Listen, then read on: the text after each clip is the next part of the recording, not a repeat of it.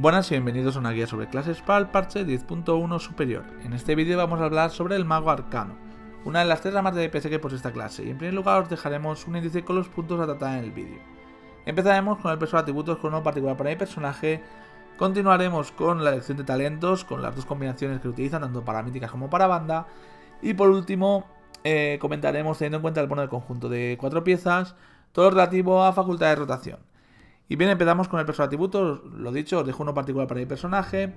Eh, lo que más pesa para nosotros va a ser el intelecto. ¿Cómo entenderlo? Pues la cifra que nos marca es el daño por segundo que nos proporciona cada punto de dicho atributo en el intelecto. ¿Qué es lo que hace este atributo principal? Pues aumenta la facultad, la magnitud de cualquier facultad que utilicemos. Eh, los cuatro atributos secundarios entre maestría, crítico, celeridad y versatilidad Ahora mismo, como estáis viendo, en mi caso me pesa más la versatilidad ya que he llegado a los límites de mejora que me proporcionan los otros atributos. Vamos a comentar qué hace cada uno y luego las cantidades a buscar aproximadamente, ¿vale? Lo primero, maestría aumenta la cantidad de maná, el daño de la facultad que consumen cargas arcanas, el daño porcentualmente también de facultades que no consumen cargas ni las generan, y aumenta la regeneración de maná. Por ello ahora tenemos un montón de eh, beneficios de tener maestría, que es el atributo secundario que nos interesa tener más elevado. El crítico permite eh, tener una probabilidad creciente asestar un golpe que tenga el doble de efecto.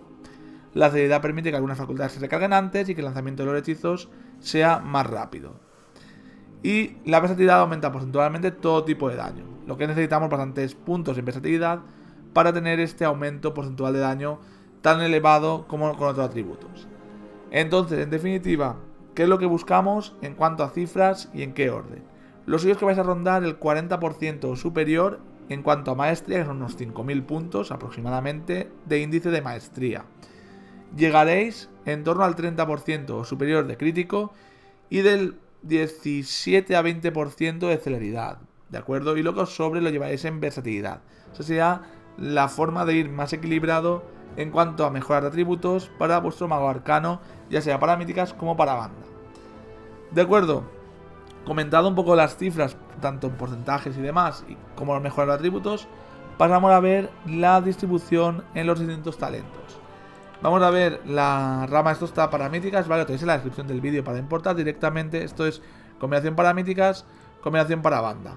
Perdemos utilidades de la rama general y cambiamos dos, tres talentos menores como veis, llegamos a la gema en lugar de a la tromba de orbes. Eh, ponemos los dos puntos de misiles arcanos en lugar de tener más cargas del orbe eh, arcano. Y en lugar de tener lo del corte con arco para que haga más daño a la tromba. Eh, depende de combates, hay veces que nos lleva la gema para llevar el tema de orbes tipo como mítica, etcétera, ¿vale? Esto es en general para un combate de puro objetivo único, ¿vale? Lo que hemos mostrado, la que pone banda es puro objetivo único. Esto es para míticas con objetivos eh, constantes con áreas, ¿vale? Con el resonar, etcétera. Entonces luego hay un poquito esos 3-4 talentos que cambian, que se pueden modificar para ajustarlo al combate poder hacer daño extra con la tromba a varios objetivos, pero eliminando resonar. Hay, hay adaptaciones, ¿vale? Pero ahí lo tenéis las formas generales de una y otra eh, combinación. Para banda puro un objetivo, para míticas, en general cualquier tipo de mítica. En, el árbol general de mago, ¿qué es lo que llevaremos? Bueno, siempre utilizamos tomo de Ronin para tener el 2% crítico extra. Siempre utilizamos el 2% de celeridad del tomo de Antónidas, ¿vale? O sea, estos son puntos de aumento de atributo que siempre utilizamos. Bueno, el caudal de encantador, que ahora siempre utiliza, al haber perdido la runa siempre llevamos el caudal. El poder cambiante, súper importante para ir recargando unos 12 es y tener el daño explosivo cada minuto y poco en lugar de minuto y medio. Tenemos el doble, la doble distorsión, ¿vale? Por llevar distorsión momentánea podemos lanzar dos distorsiones eh, alineadas perfectamente. Y poco más, como veis, lo demás son utilidades, son pues la supervivencia con el frío polar, el poder lanzar la barrera, lo otro son ya utilidades que tenemos como mago, movimiento al tener más supervivencia, al tener el alterar tiempo, con dominar el tiempo, ¿vale? Para que esté potenciado y poder utilizar el centelleo, el desplazamiento, etcétera. Entonces ya de este árbol genérico, si os dais cuenta, lo que cambiamos de míticas a banda es que a lo mejor nos quitamos el aliento para tener más movilidad, tenemos más absorciones de las barreras, hacemos cambios menores. Del árbol de mago arcano. Bueno, si os habréis dado cuenta, siempre llegamos hasta el eco armónico y siempre llegamos hasta tormenta succionadora, ¿vale? Estas dos partes se mantienen invariantes, cae todo se mantiene constante la elección de talentos y apenas cambian un par de ellos, como veréis. Pero bueno, lo fundamental, bueno, esto nos obliga a que lancemos evocación, ¿vale? Por tormenta succionadora cada vez que esté disponible y previo a hacer el momento de daño explosivo. Prelanzamos la evocación, la, la utilizamos no solo por la recarga de maná, sino por ejemplo en un pre-combate para obtener las acumulaciones de intelecto aumentado durante esos 30 segundos. Bien, luego el tema de la gema simplemente es por mantener también el maná y tener em, el daño de título adicional al utilizarla, ¿vale? Si es necesario podemos utilizar una de las gemas en el momento también de daño explosivo mientras quemamos maná para quemar todavía más maná por el bono de conjunto de clase que se basa también en esto, en quemar maná y aumentar el daño. Entonces ahí hay como una sinergia, ¿vale? Ahora lo comentaremos luego en la parte de facultades y rotación. Eh, de la parte, como veis, de, de ilustrado y erudición prodigiosa. Aquí lo que nos permite ¿vale? Es lo primero tener daño adicional o recarga de maná adicional, depende del porcentaje de maná que tengamos. Por encima del 70% de maná hacemos más daño. Por debajo de ese porcentaje aumentamos la recarga de maná, la generación de maná. Eh, con erudición prodigiosa, las cargas aumentan todavía más la, efectividad de la maestría para explosión arcana y la tromba. Con lo cual obtenemos muchísimo más beneficio del porcentaje de daño extra que nos proporciona la maestría. Que por eso tiene tantísima relevancia. Y por eso siempre se lleva este talento tanto para combates de área como para combates de un objetivo. Eh, el tema de la chispa radiante mejorado a eco armónico. Esto permite que lancemos cuatro facultades y que la quinta esté tremendamente potenciada. Bueno, para combates de área donde llevemos la tromba eh, con el corte en arco, sí que nos interesa lanzar la tromba en ese tipo de, circunstancias para que golpee a 5 objetivos con el más 40% de daño de la chispa radiante. Para combates de un objetivo donde todo el daño es explosión arcana, nos interesa lanzar las explosiones sin más. Vais a lanzar la chispa, lanzáis 5 explosiones arcanas. Constantes, consecutivas. Con ese aumento de daño, la última va a hacer muchísimo daño y va a ser gran parte de vuestro daño. Como os dais cuenta, esto tiene 30 segundos de tiempo de reutilización. Igual que eh, se os va a quedar más o menos como el toque de los Magi, ¿vale? Eh, al utilizar vuestro poder cambiante. lo ideal es que la chispa la alineéis con toque de los Magi. Toque de los Magi es lo primero que se lanza cuando vais a burstear. Eh, se lanza la chispa y se lanza la oleada. Recordad que la quinta muchas veces puede ser utilizada, el, quinto uso dentro de chispa puede ser utilizado también en oleada arcana, ¿vale? Depende cómo hayáis potenciado, si es para combate de un objetivo prioritario, si es para combates de área, depende, ¿vale? Entonces ahora lo explicaremos un poquito más. Pero bueno, básicamente hay que alinear eh, tanto el toque de los Magi, la chispa radiante y la oleada arcana, que son los CDs principales que luego veremos. Recuerda, también tenemos eh, nuestro familiar arcano y tenemos potenciada nuestra explosión eh, arcana después de consumir un efecto de lanzamiento libre, que puede acumularse hasta tres veces, ¿de acuerdo? Que aquí tenemos para que se pueda acumular hasta tres veces al mejorarlo. Entonces jugamos con lanzar unos minses arcanos entre medio de la rotación para luego, acto seguido, lanzar dos explosiones arcanas que están con ese más 20% de daño potenciadas, ¿de acuerdo? Eh, bien, el tema de combates de área, aquí cambia bastante un poquito el estilo de juego, ahora lo comentaremos, pero una de las claves es la tromba de orbes. Aquí se juega más en lanzar, si son combates de 5 o 6 objetivos, eh, nuestra tromba arcana y por cada eh, punto de, o sea, por cada carga arcana consumida hay un 10% de probabilidad de que se lance otro orbe. Recuerda que la tromba consume, que ahora lo, explicaremos también, consume las cargas arcanas y el orbe da un punto, una carga, por cada objetivo golpeado, más uno mínimo al lanzarse. Entonces, si estamos en un combate de áreas, podemos lanzar tromba, puede aparecer un orbe, nos recarga todas las cargas arcanas, lanzamos otra tromba, y se puede ir lanzando varias trombas casi consecutivas depende de la suerte que tengamos, ¿vale? O sea, luego ahora lo veréis en la parte de rotación, depende de la suerte que tengamos. Igual lanzo trombas, aparece orbe, tromba. Lanzo yo mi orbe específicamente porque no he tenido la suerte, lanzo tromba, dependerá un poco, pero ahora lo comentaremos todo esto. Pero veis que aquí el estilo de juego va a ser muy similar, para combates de un objetivo va a ser lo mismo, y para hacer combate de área, una de las claves va a ser tanto el eco arcano, que va a permitir que hagamos daño extra a los objetivos cercanos por cada golpe que recibe el objetivo que esté marcado por nuestro toque de los Magi, que lo suyo es que tenga la tempestad abisal porque va a dar muchos eh, pulsos y va a hacer que se lance más veces el eco arcano y con bombardeo arcano tendremos daño adicional de nuestra tromba que podemos lanzar dentro de la chispa y que golpea varios objetivos por corte en arco, ¿vale? Todo aquí en este tipo de escenario el estilo de juego va a ser distinto. Bien, comentaba un poquito los talentos, las claves de los talentos, los cambios que ha habido y demás. Vamos a pasar a lo relativo a facultades y rotación. Y lo primero es explicar un poco el bono de conjunto de clase de nuestro mago arcano. Lo primero va a ser que con el bono de dos piezas, eh, la oleada arcana, que es el CD principal, el antiguo poder arcano, nos da un 10% más de daño con hechizos y dura 3 segundos más. Y la parte del bono de cuatro piezas nos permite que por cada 24.000 de mana consumido en la oleada arcana, que consume todo nuestro mana, y durante su duración, aumente un 1% más nuestro daño con hechizos, se acumula hasta un más 25% de daño, 25 acumulaciones, y además, cuando finaliza, nos aumenta la recarga de mana un 50% adicional. Entonces, gracias a todo esto, nos da una fluidez en la rotación, nos da daño explosivo y nos da un daño sostenido bastante decente, ya que cada minuto más o menos vamos a tener esta oleada arcana, gracias a posteriormente a lanzar todos los CDs, haber lanzado el poder cambiante y tendremos esos beneficios de la rotación, ¿vale? Vamos a comentar entonces eh, un poquito cómo o qué tenemos de facultades básicas. Como siempre, bueno, tenemos facultades como los misiles, que lanzan varias oleadas, hacen daño arcano, son casi un relleno ahora mismo, se usan con el lanzamiento libre específicamente y en combates de área antes se utilizaban para cargar la tromba, ahora como nos está jugando con ese talento, son más bien por eso, una especie de relleno que se lanza en lanzamiento libre.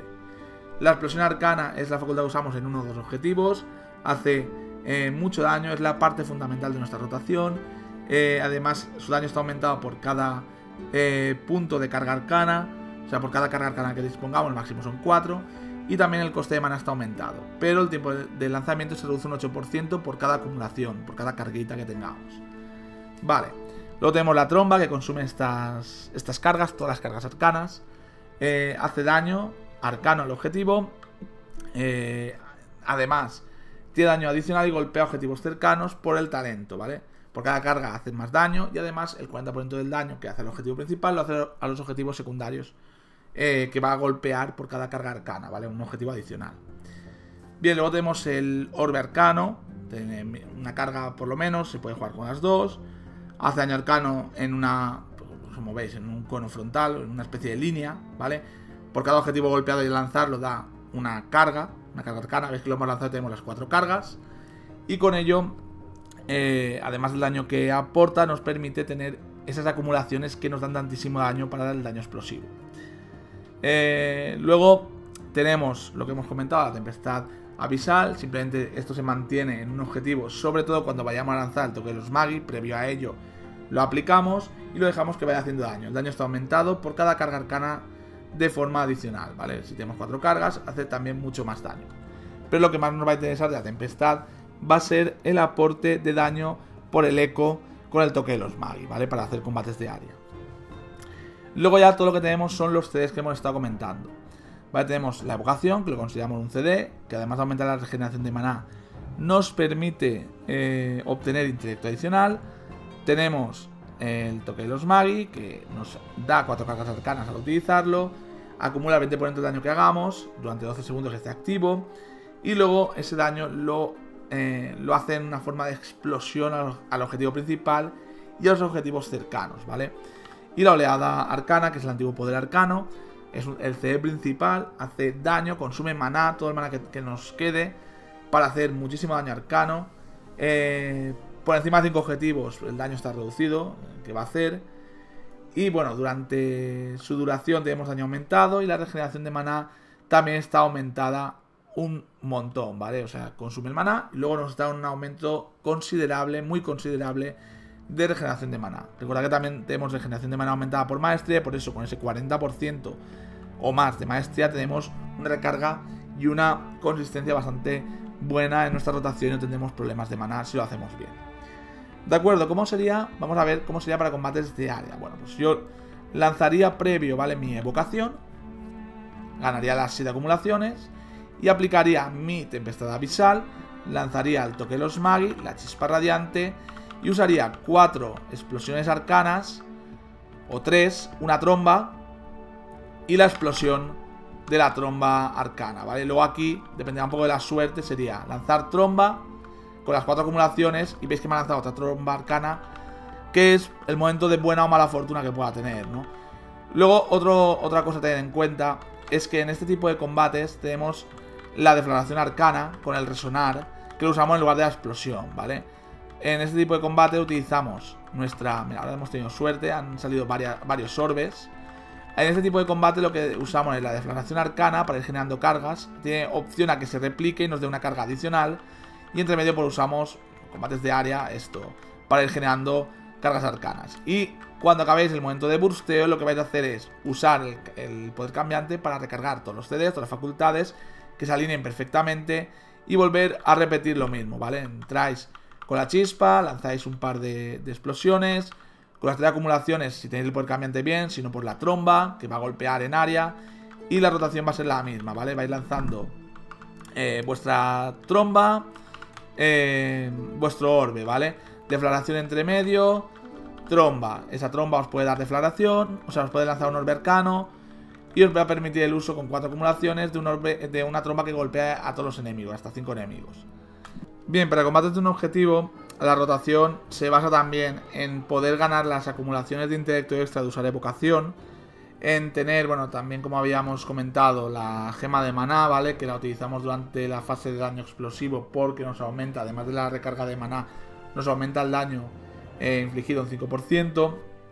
Y la clave de la rotación es la misma. Lo único que en lugar de consumir las acumulaciones en explosión eh, arcana únicamente o en la tromba, aquí se puede acumular con la oleada arcana como eh, quinta facultad de uso dentro de la chispa radiante, ¿de acuerdo? Sería lo suyo. Y luego dentro de ahí tenemos que alternar el uso de misiles arcanos para aumentar el daño de las explosiones arcanas por precisión abisal los de lanzamiento libre estamos comentando, ¿vale? Estamos refiriéndonos a ellos. Y eh, después del uso de estos de una carga de misiles de lanzamiento libre, eh, usamos dos explosiones arcanas. Entonces vamos a hacer el ejemplo de, la rotación, ¿de acuerdo? Entonces para un objetivo empezaríamos aplicando el toque de los Magi, la chispa radiante, lanzaríamos hasta cuatro explosiones arcanas. Y en la, en la cuarta, con las cuatro acumulaciones de la chispa, usaríamos la oleada arcana, ¿de acuerdo? Y ya justo en este momento usamos una acumulación de misiles, dos explosiones arcanas. ¿De acuerdo? Iríamos de esta forma. Una acumulación de misiles, dos explosiones. Toda la rotación en esta base se eh, dedica a aumentar el daño de las explosiones arcanas y a quemar mana, ¿de acuerdo? Para poder mantener este daño extra del bono de conjunto de clase por quemar 24.000 de mana, ¿vale? Acumulable hasta 25 veces. Eh, luego, si tenemos problemas de mana, usamos la tromba para recargar eh, o para aliviar un momento la rotación. Y recargamos esta fase de bursteo con el poder cambiante. De nuevo, lanzaríamos nuestra, eh, nuestro toque más chispa. Y en la cuarta lanzaríamos otra explosión arcana, ¿vale? A poder ser potenciada por precisión abisal. Luego cada minuto y medio volveríamos al momento este de daño explosivo que nos proporciona nuestro uso de vocación que aumenta el intelecto y volveríamos de nuevo a eh, el daño como hemos hecho al inicio, ¿de acuerdo? Que sería la idea. Entonces, pues bien, como quedará un poco reflejado, yo ahora volvería a cargar mi daño con evocación, lanzaría un par de explosiones arcanas a ver si, si obtengo un lanzamiento libre, de paso y volvería a prepararme para el daño explosivo. Volvería a lanzar mi toque de los Magi, mi chispa radiante, las dos explosiones arcanas potenciadas. Lanzaría dentro de aquí en el cuarto uso la oleada arcana, lanzaría mis misiles, esa oleada está tremendamente potenciada con más 40% de daño y volvería a realizar la misma rotación, ¿vale? Es más o menos constante esto que estamos realizando. Bien, pues con esto concluimos con la guía, espero os haya servido de ayuda, os haya mostrado cosas que os supiera sobre la clase y nos vemos en los siguientes vídeos. Hasta la próxima.